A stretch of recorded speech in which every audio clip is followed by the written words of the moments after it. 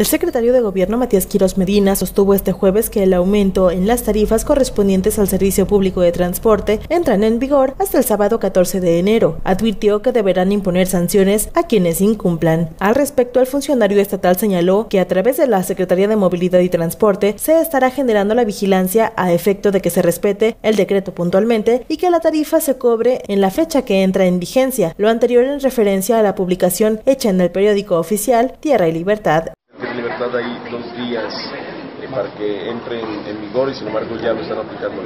Es correcta la presentación que acabas de hacer, se estará generando a través de la Secretaría de Movilidad y Transporte la vigilancia a efecto de que se respete el decreto puntualmente y la tarifa se cobre en la fecha que entre en vigencia.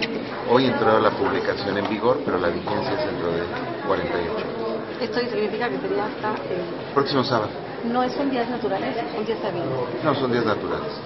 O sea, a partir del sábado ya podrían cobrar. A partir del próximo sábado se estaría generando el ajuste. ¿El apoyo por parte del gobierno del Estado a la universidad no es consecuencia de la disputa que sucedieron hace algunas, algunos meses el rector y el gobernador? No, me parece que su pregunta es totalmente equivocada. El gobierno del Estado ha estado depositando puntualmente los recursos económicos en tiempo y forma, conforme a calendario y fecha. Hemos entregado los apoyos y los recursos extraordinarios que se han comprometido con la universidad y me parece que en ese aspecto la universidad siempre ha contado con el apoyo del gobierno del Estado.